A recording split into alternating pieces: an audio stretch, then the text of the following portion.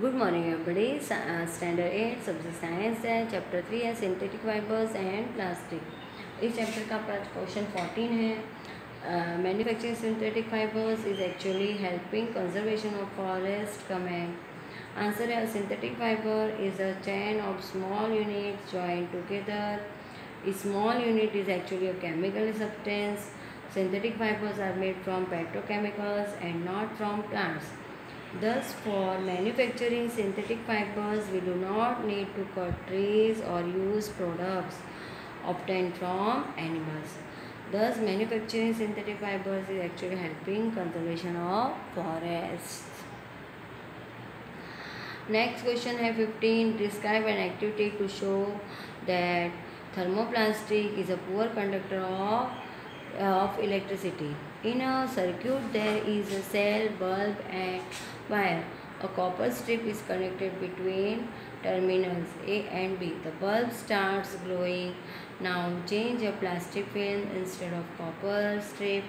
This time bulb would not glow because circuit is not completed. It shows that thermoplastic is a poor conductor of electricity देखो ये आपको diagram में पता है next number आपको choose the correct option करवा रही हूँ जो आपको करने हैं। नंबर वन है which of the following is a synthetic fibre A cotton B acrylic C jute या डी वूल तो आंसर आएगा B acrylic next number next number कौन सा है? Two which fibre is known as artificial silk A rayon B acrylic C nylon D terylene. तो इसका answer आएगा A rayon next, number three which man made fibre is made by the chemical reaction on wood पर तो option है A polyester B nylon C rayon D acrylic तो answer आएगा C rayon Which of the following is not a synthetic fiber? B nylon, C acrylic, D silk.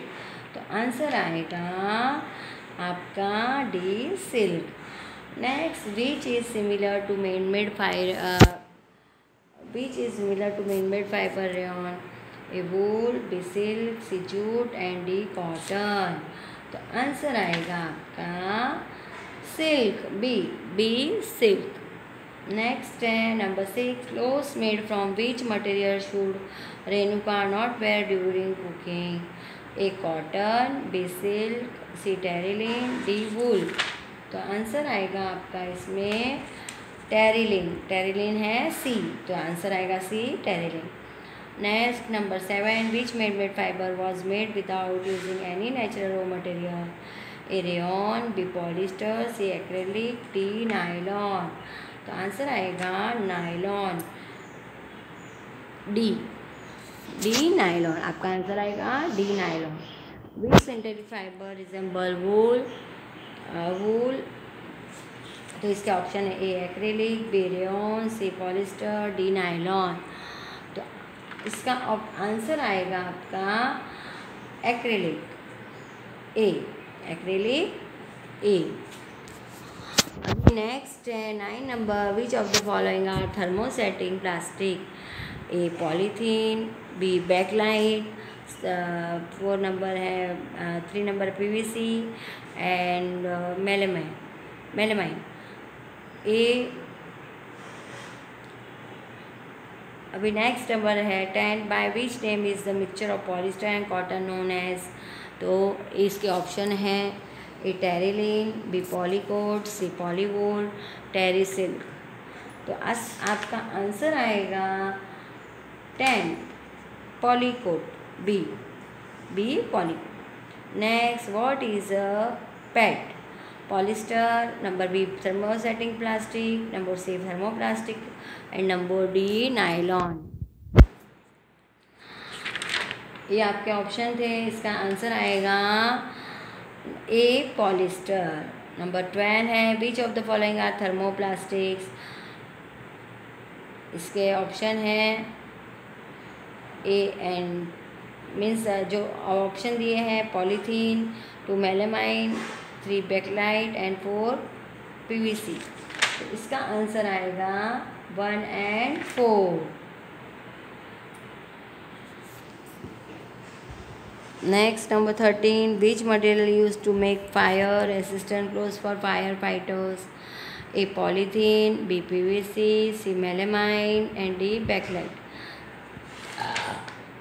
तो answer आएगा C melamine number fourteen है which party use to made electric switches A bakelite B polythene C P V C D melamine तो answer आएगा A backlight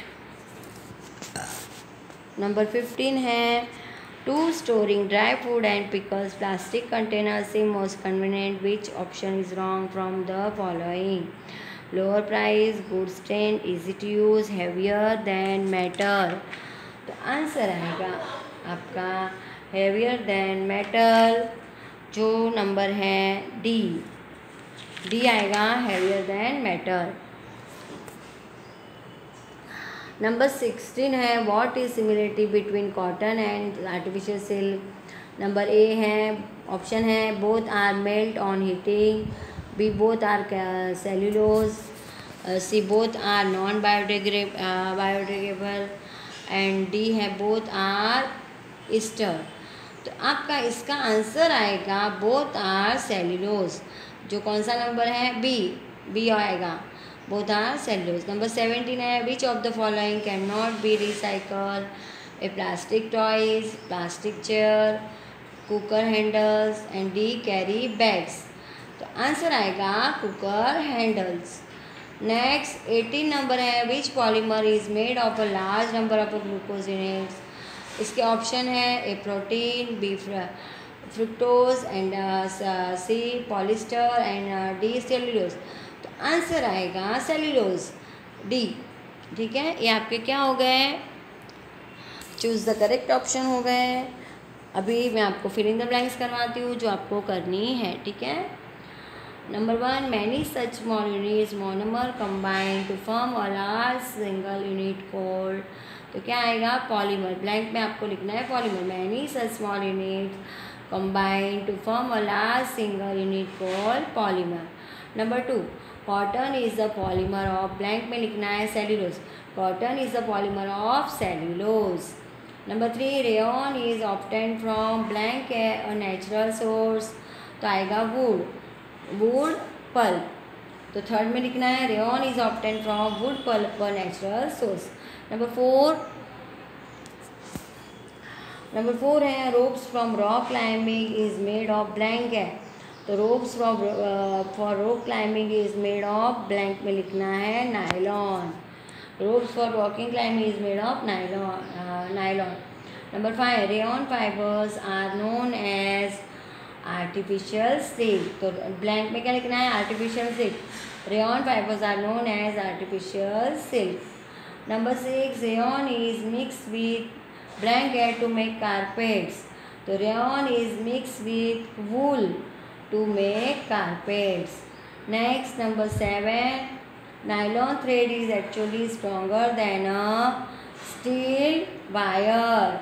तो nylon thread is actually stronger than a steel wire blank में लिखना है steel next number eight nylon was prepare from इसमें तीन blanks हैं and तो इसमें फ़र्स्ट में आएगा कोल सेकेंड में आएगा वाटर और थर्ड में आएगा एयर तो nylon was prepare from coal water और air next number nine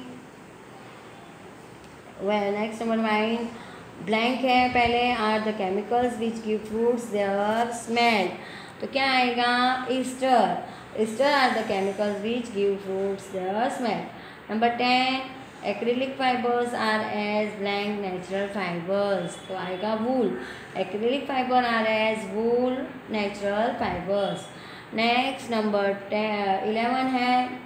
number पहले ब्लैंक है एंड ब्लैंक है. Is well known as polyester तो फ़र्स्ट ब्लैंक में लिखना है पैड और दूसरे में लिखना है terylene PET and terylene is well known as polyester next number twelve है. All the synthetic fibers are prepared by using raw materials of petroleum origin coal.